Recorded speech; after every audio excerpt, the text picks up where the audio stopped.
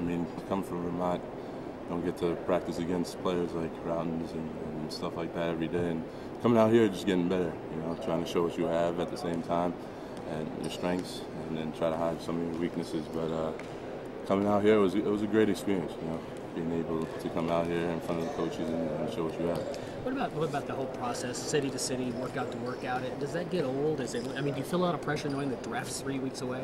Uh, I mean, no, but I, it's fun, but it can be tiring at the same time. It's just all how you take it, I guess. I mean, coming out, uh, I traveled from Florida all the way out here yesterday, so I mean, you, you could have excuses and come out here and, and perform bad, and you could suck it up and go out there and play as hard as you can. It looked like it was a really competitive workout. I mean, a lot of guys diving on the floor, everything contested. It looked like a quality workout.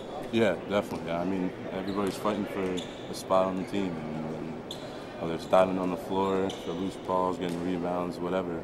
I mean, the little things is what I try to do out there, and, and I might not be knocking down threes or or pulling up in somebody's face, but trying to do the little things to, to get the win.